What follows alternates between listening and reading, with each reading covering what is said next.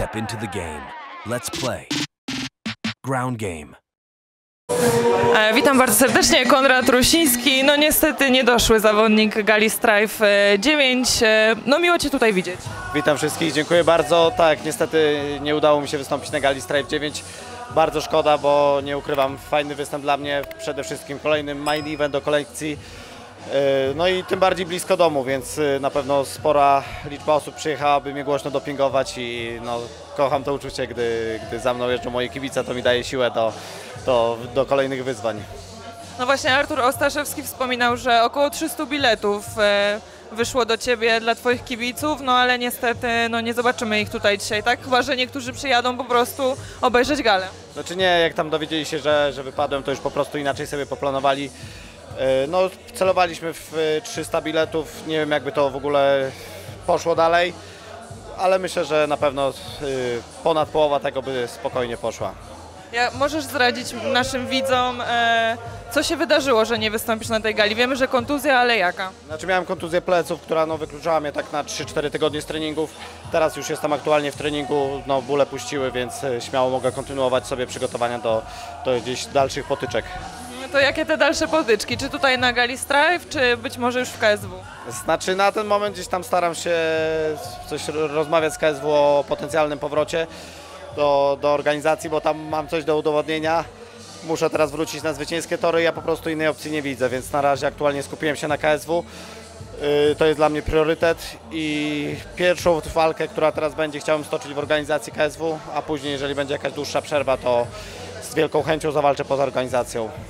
E, Arek Kaszuba też miał swoją przygodę w KSW. E, No miał być teraz tutaj twoim rywalem, zmienił mu się rywal na Krystiana Kaszubowskiego. No jak ty oceniasz tą zmianę rywala? Czy, czy, czy myślisz, że Arek Kaszuba będzie miał ciężki pojedynek? Znaczy ciężki na pewno będzie miał, bo Krystian Kaszubowski, no solidny zawodnik, jak już, no ja za mało lata go oglądałem gdzieś tam w KSW, znaczy za mało lata, no kilka dobrych lat temu dawał solidne pojedynki z mocnymi rywalami, twardy Stójkowicz, no bombę w łapie ma, więc wydaje mi się, że, że naprawdę ta walka jest, e, w sumie tutaj widzę, że Strife potrafi zaskoczyć main eventem, po raz kolejny dają solidny, solidną galę robią, więc to jest właśnie to. A ty jakbyś mógł sobie wybierać, czy, czy Arek Kaszuba, czy Krystian Kaszubowski, to naprzeciwko którego chciałbyś pierwszego... E, przepraszam, bo to MMA.pl ma jakiś problem? E, tak, tak, bardzo proszę o wsparcie. Prime. Nie, nie, nie, nie, tutaj na strajfie. E, to który z panów byłby dla ciebie, mm, no nie może, że nie łatwiejszym, ale który bardziej by ci pasował stylistycznie? Znaczy, nie patrzyłbym na pewno na stylistykę, ale wolałbym na pewno walkę z Krystianem, bo lubię wyzwania. Jest, moim zdaniem jest solidniejszym zawodnikiem i Czyli typujesz na niego, że on cię wygra ten pojedynek? wydaje mi się, że Krystian zwycięży dzisiaj w pojedynek. No i właśnie bardziej by mnie to motywowało do jeszcze cięższej pracy. No i tak jak wspomniałem, no nie wybieram rywali, lubię po prostu w sumie od samego początku miałem trudną drogę. Od samego początku miałem trudną drogę, w, czy to w Babilonie, czy, czy w KSW.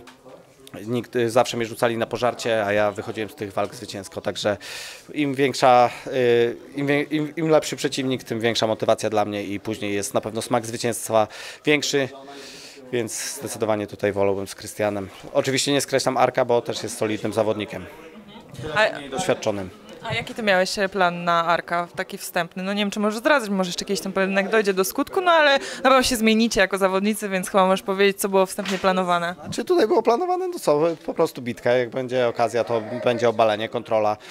I byśmy zobaczyli, reszta by wyszła po prostu w praniu, bo wiadomo, robimy to, co, na co pozwala nam przeciwnik, ale na pewno chciałem, przygotowywałem się na taki trochę odmienny styl niż zawsze, mniej tych zapasów zdecydowanie, teraz staram się to wykluczyć, ale na pewno gdzieś tam będzie dalej to stosowane. E, Z kim tutaj dzisiaj przyjechałeś?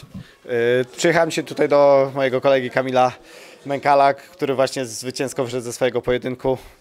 Yy, I jest jego trener Wojtek Zaprawa i Czarek Oleksiejczuk. Także przy... No właśnie, to jak, za kim się opowiadasz w tym konflikcie? Za Czarkiem czy za Michałem Aleksiejczukiem? Bo chyba braterska więź się rozerwała. No tutaj jest ciężka sytuacja, jest grubo, porobiło się w rodzinie. Czarek już się wyprowadził do innej miejscowości. Także no, powiem szczerze, że no, staram się być postronny. Ale tak stronę trzymam pół na pół, no bo jeden, jeden brat ma rację i drugi, także, także gdzieś tam Z staram. którym ty się będziesz przygotowywał w takim razie? jest właśnie dobre pytanie. Myślę, że żeby było sprawiedliwe, to tydzień z Michałem, tydzień z Czarkiem. Ja Ci bardzo dziękuję i do zobaczenia przed Twoim następnym pojedynkiem. Dziękuję bardzo, pozdrawiam wszystkich. Dzięki. Poczekałem na ciebie, a ty mnie tutaj